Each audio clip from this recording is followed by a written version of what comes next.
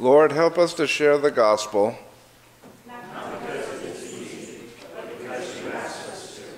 Lord, help us to share the gospel. Lord, help us to share the gospel.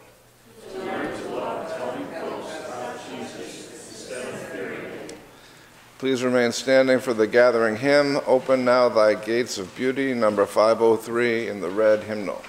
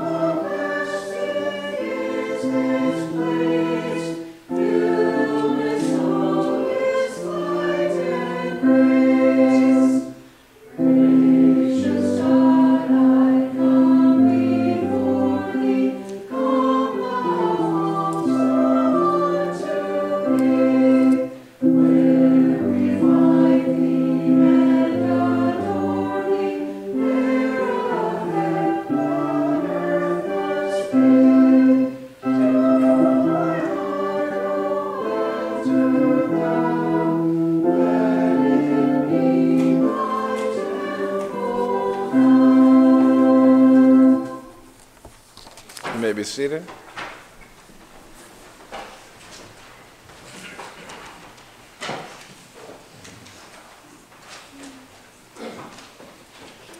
Father God, we invite you into this service today. On this fourth Sunday in Lent, we ask you to help us to love you the way you have loved us, to sacrifice for you the way you have sacrificed for us, to stop being afraid of sharing the good news of the gospel of Jesus Christ. And we'll sing the Lord's Prayer.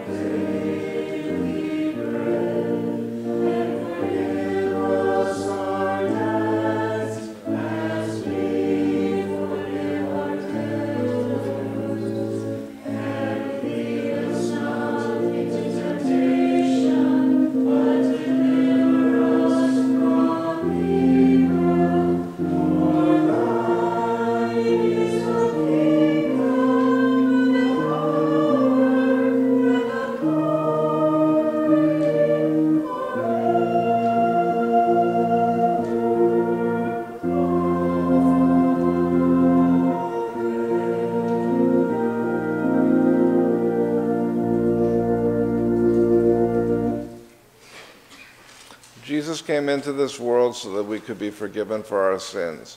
Let us confess them now freely. All together, Father, we confess our sins this morning, our sin of keeping the gospel to ourselves when there are so many people hurting and in need of it, of keeping our church a secret when there are so many people starving for what we've got.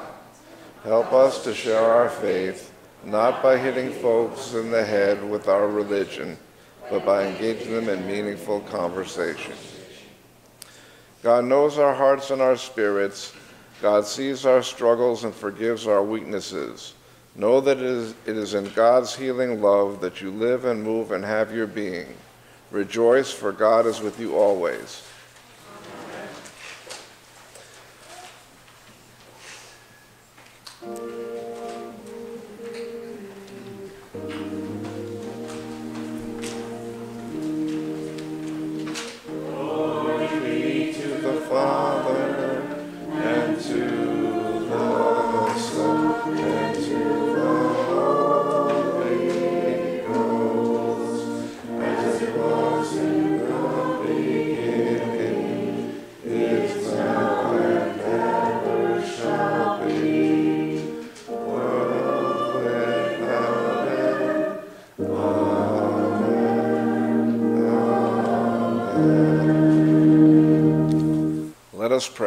Giving honor to God who is the head of my life, to all of you who came out to hear a word from the Lord today.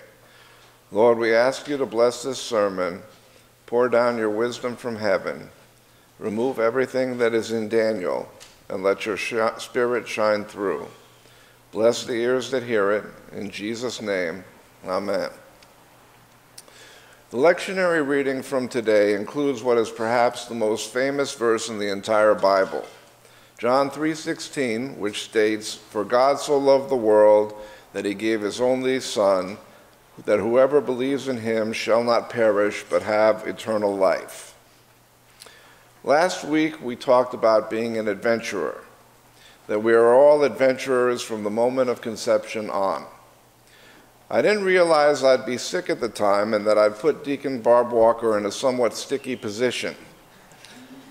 Having to repeat the word sperm repeatedly, but we're all adults here, and it is a fact that we are all the product of champion sperm who beat out astronomical odds to make us the adventurers we are.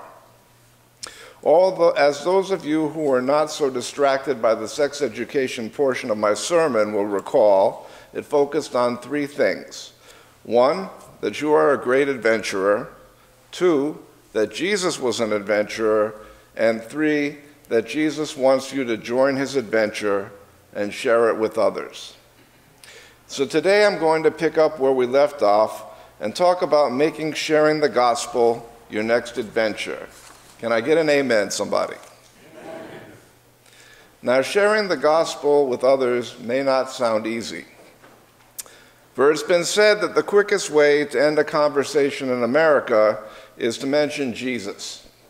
And we live in a society where most of us are very sensitive to rejection.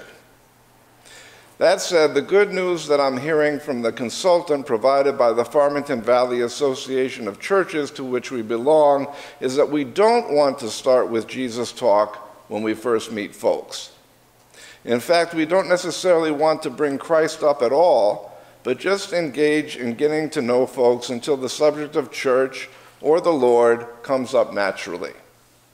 Still, we must be more eager to engage others on a deeper level than we already are, and to ask ourselves if it is the right time to invite someone we already know for ch- to church or to have a talk with them about our Lord and what Jesus has done for us.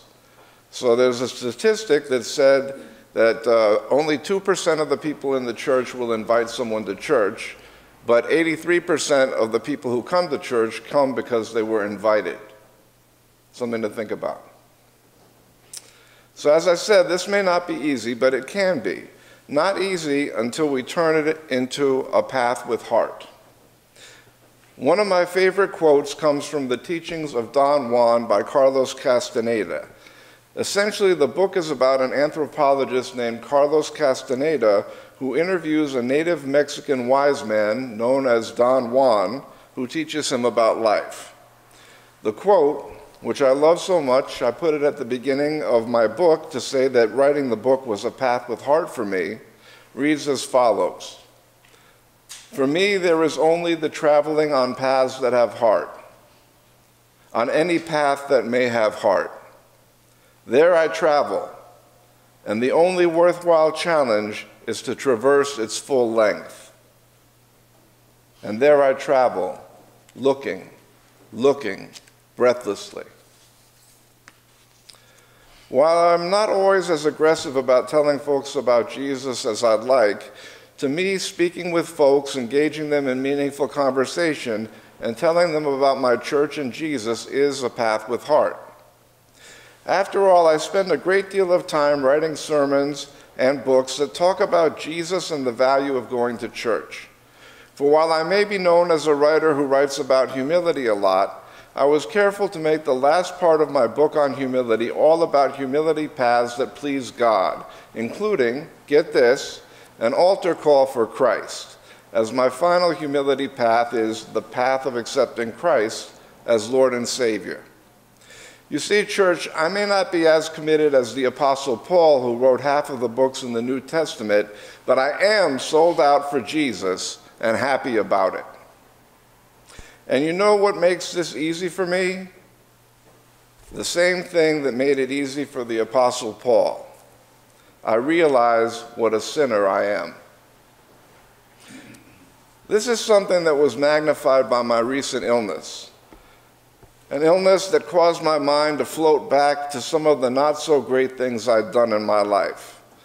Things that made me ask God why it was that He loved me so much and why He had revealed Himself to me in so many wonderful and beautiful ways.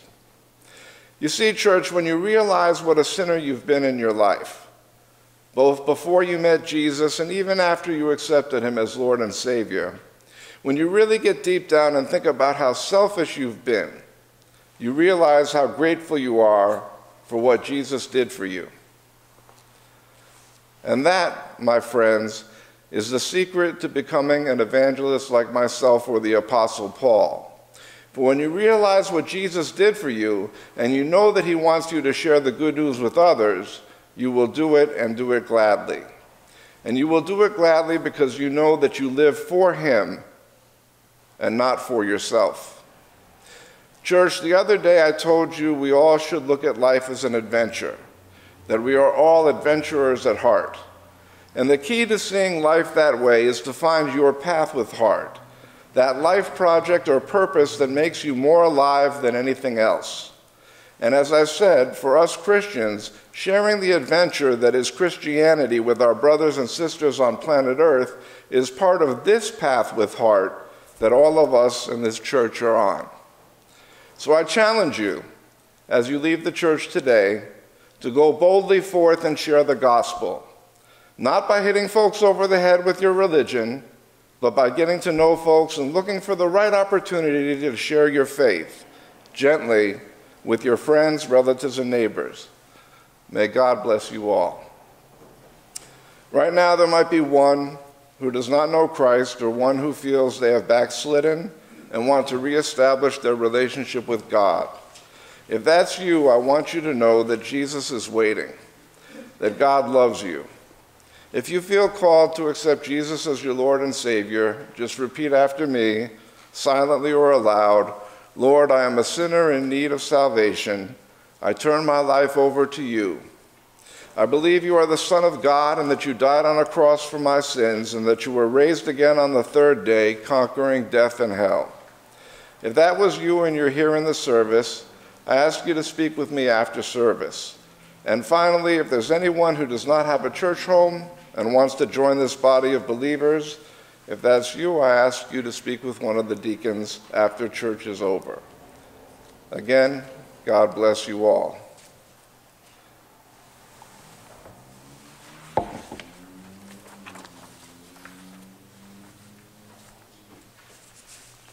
And at this time, we're going to serve communion.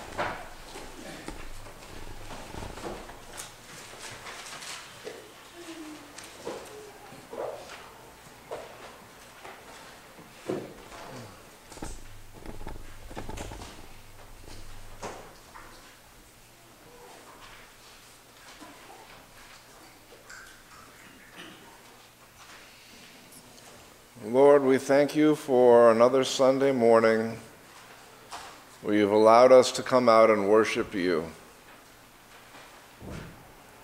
We thank you, Lord, that we got up a little early today and we all made it out to church safe and sound. We ask you, Lord, to be with us this week. Keep us from hurt, harm, and danger.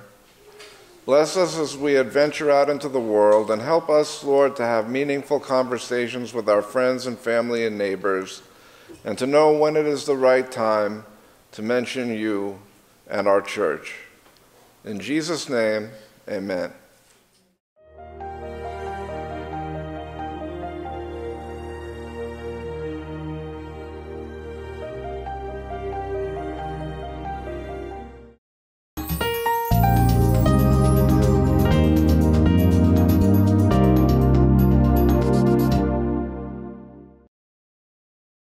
The Saybrook Fish House in Canton has been serving fresh seafood, chicken, and prime steaks for 40 years. Experience one of our three unique dining room settings, two with fireplaces, or relax in our cozy pub with a craft beer, wine by the glass, or specialty cocktail while enjoying a meal from our new lighter fare pub menu. Serving lunch and dinner Tuesday through Sunday, reservations accepted for parties of 2 to 42, gift cards always available. The Saybrook Fish House, nestled at the crossroads of routes 44, 202, and 179 in Canton.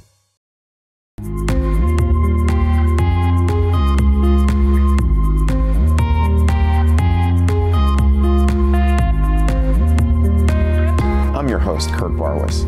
Today, I have a very special guest, Dr. Andrew Lin. Hello, and welcome to another episode of the Veterans Corner. My name is Chuck Wooden. Decision for ourselves for this week if we want to be made well. Hi, welcome to the crack of dawn. It's Dawn Lombardi. I'm starting the painting. It's going to be the clips with some water. Love it.